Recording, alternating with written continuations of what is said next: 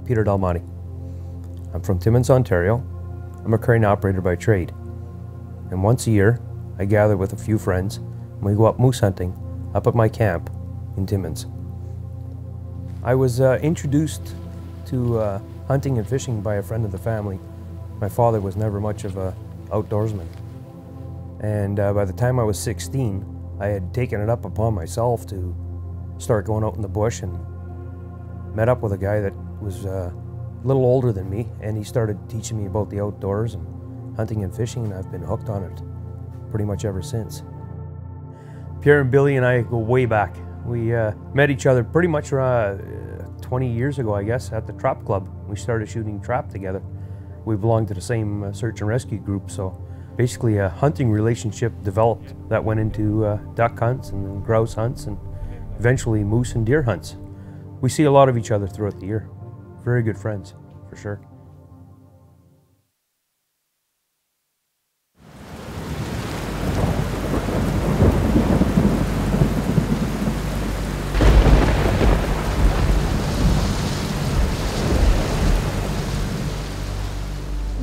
We woke up to uh, rain in the morning. Pretty much rained all night. Storm front rolled in. We were expecting 30 to 50 millimeters of rain.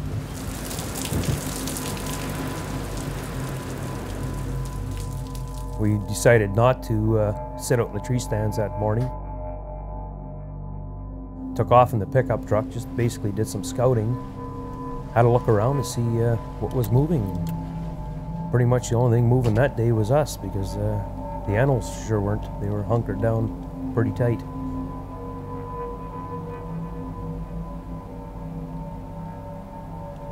Poplar Ridge would be nice to hunt one day. Winds were up. I know that the moose don't really enjoy the the wind because it uh, you know knocks off their senses they're hearing so and a sense of smell too. Makes the hunt a little tougher for sure.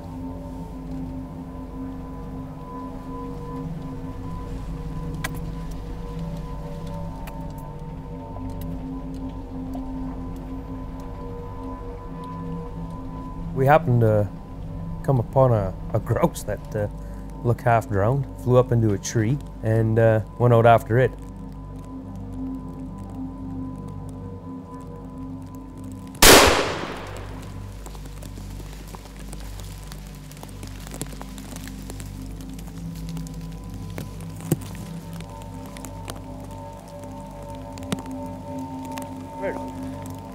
So we were fortunate we uh, managed to get at least one grouse that day. Eh?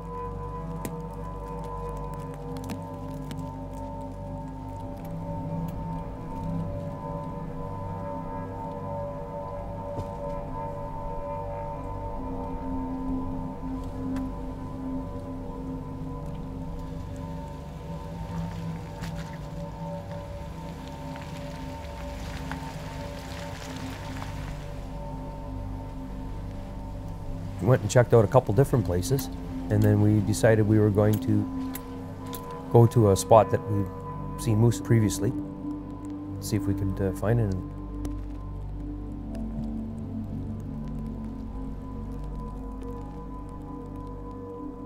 There was uh, very little sign actually. There was more sign of hunters than there was actual moose. The rain had pretty much washed away any uh, sign that uh, you know wasn't immediately fresh. So I pretty much wrapped up day one.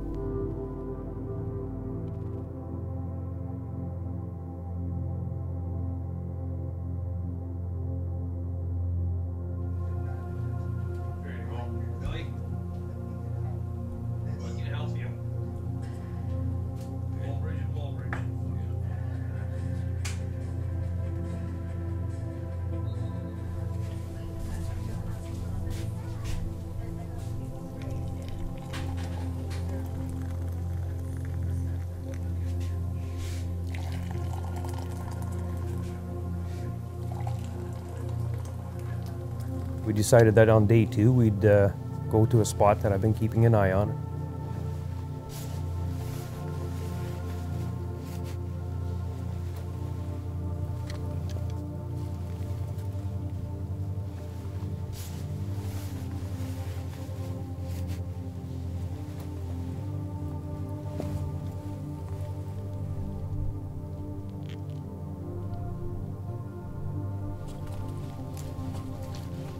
We walked in, set up, and the other guys all headed up around the uh, surrounding the areas.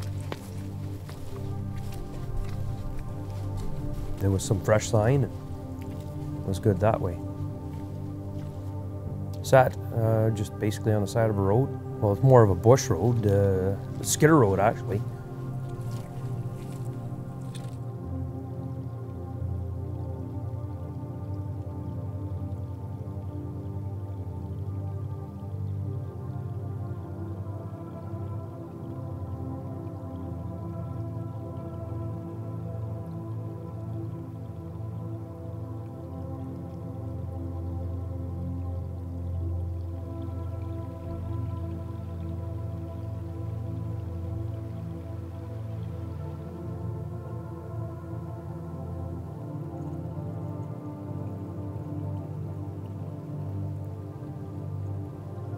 Managed to uh, get a little hunt together that morning. Morning hunt was successful only because we were able to locate some fresh sign.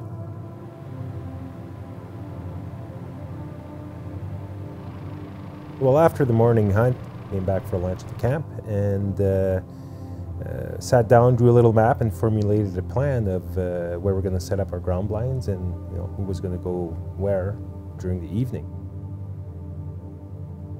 So um, I went with Bill, uh, give him a hand set up his uh, ground blind, while uh, Peter uh, set up my ground blind.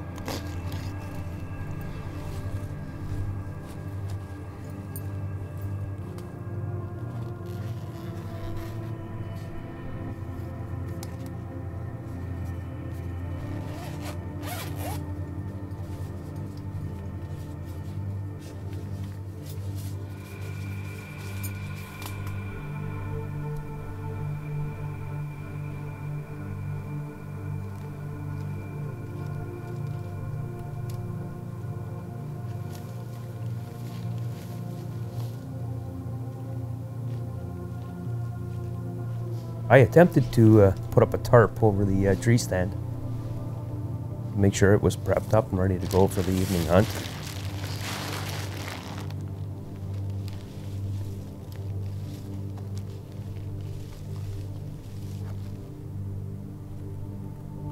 That failed miserably because of the high winds that night.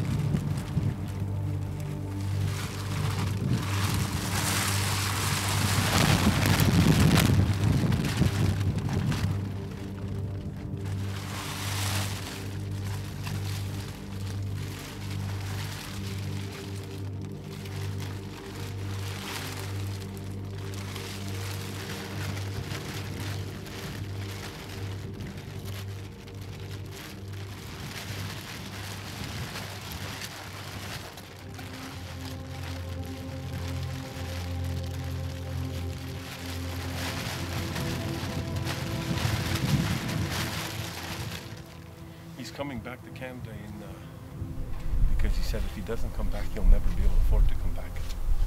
But, you know, I saw for Bill and I met him there, They let me and we scouted around uh, the tree stand, that area, for uh, any sign, because we didn't hunt there in the morning.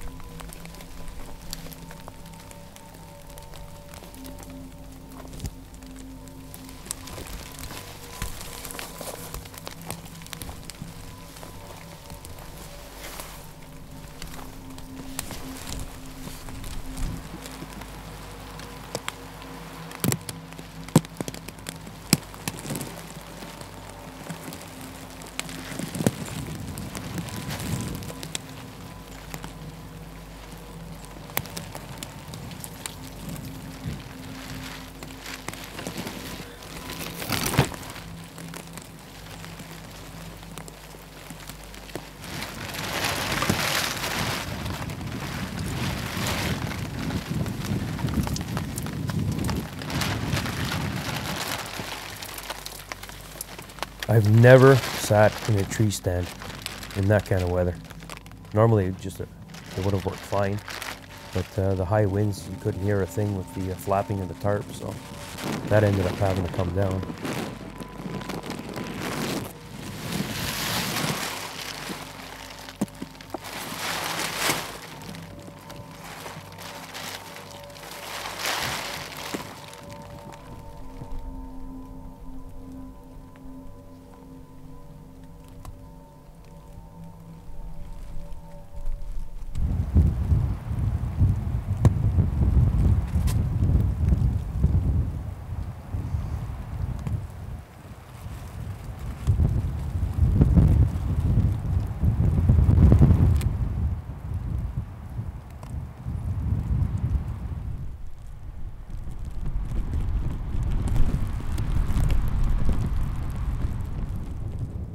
Well, honestly, got to be something wrong in your head to want to come out and stand in this kind of weather, waiting for the elusive calf.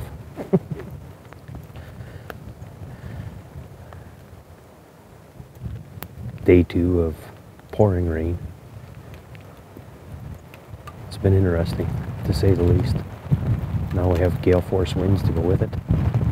Even better. Oh well. Gotta feed the need.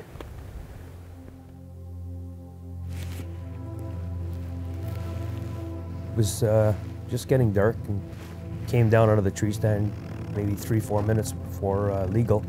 And just as I had got down out of the tree stand, maybe a minute later, heard a shot.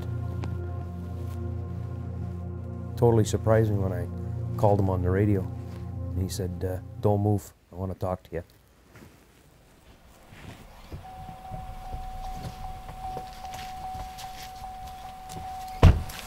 Seven oh two. no, that was you that shot? Yeah.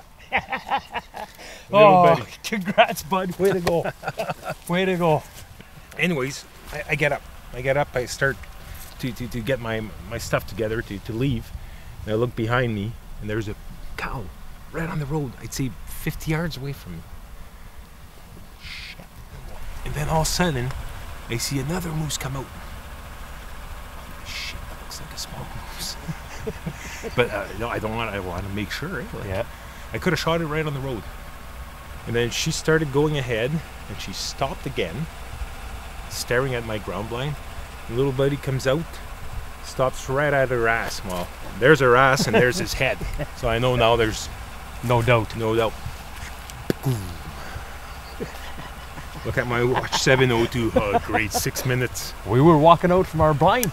We Oh. were just get we just gotten down and started to walk. So Right on. anyway, she uh, I could hear her bark in there. Yep. And well, she wasn't barking at the end there. It was more like a wailing, more like so, Good. Oh yeah, yeah. So it's probably down, and we just got to get over there now and try and find it. I know it is black tonight. It is We're dark. gonna need lots of lights. Well, an evening shot is always going to be a fun recovery. Right away. I knew we were in for a real treat that evening. There's another 100 feet. Throw those in there. Water.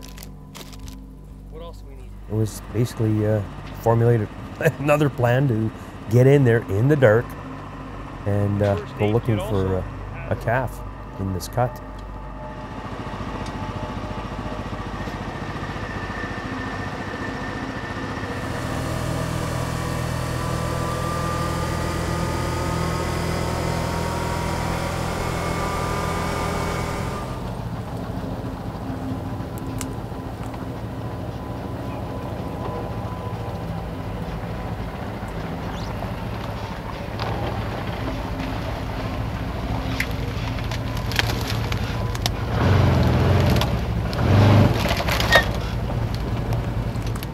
Quite overgrown. I knew exactly where he had shot. I, I knew where the animal had headed, and I knew what we were going to be up against. It was going to be quite challenging to find that thing in the dark.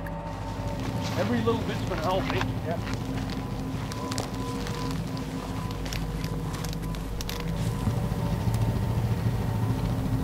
The fun begins.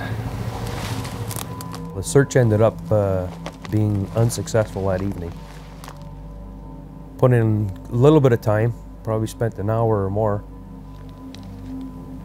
Became very dangerous as far as I was concerned, and I didn't really like the idea of us poking around there in the dark with a cow in the background, possibly. There's a lot of trip and fall hazards. Yeah, it wasn't uh, wasn't the best of conditions, tight bush. So, yeah, I knew it was going to be a little sketchy. We had to call off the uh, search for the calf that night.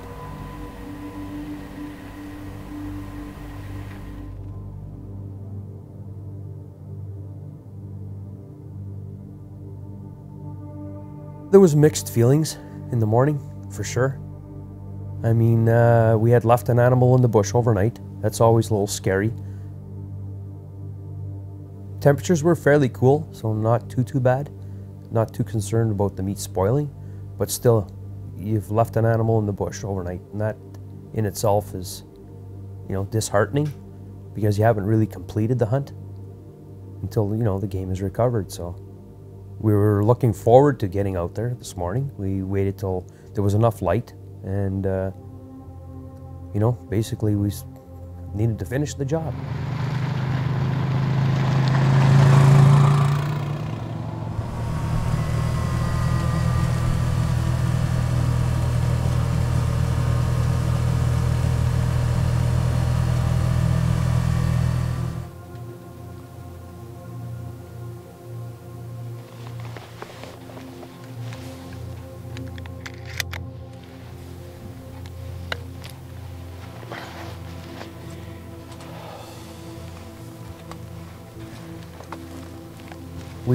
Went in and did a couple grid lines uh, off of uh, some skidder trails. There's calf shit there.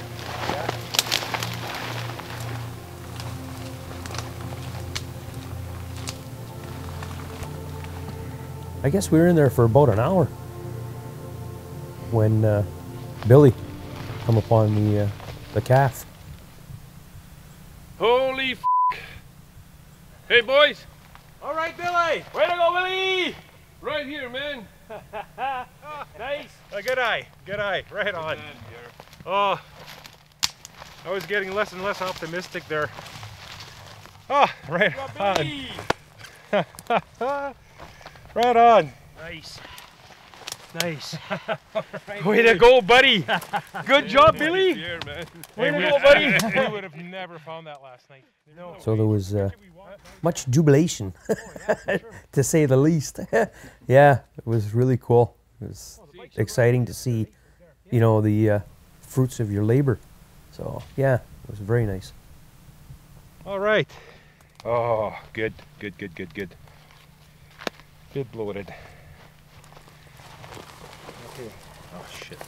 Okay. Well, I don't have my glasses either. Uh, uh, if you hold it far enough away, I'll reach out and cut it.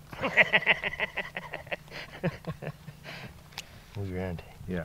You have fat fingers. I don't want to cut them off.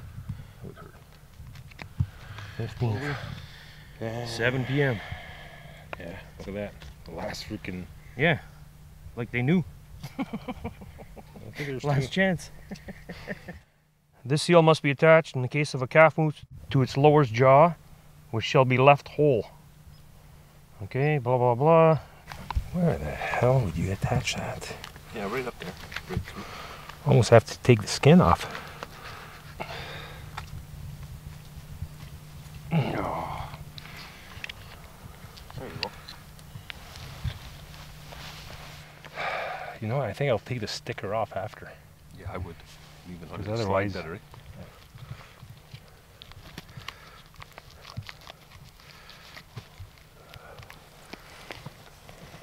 Better off to use the wires. Stuck together.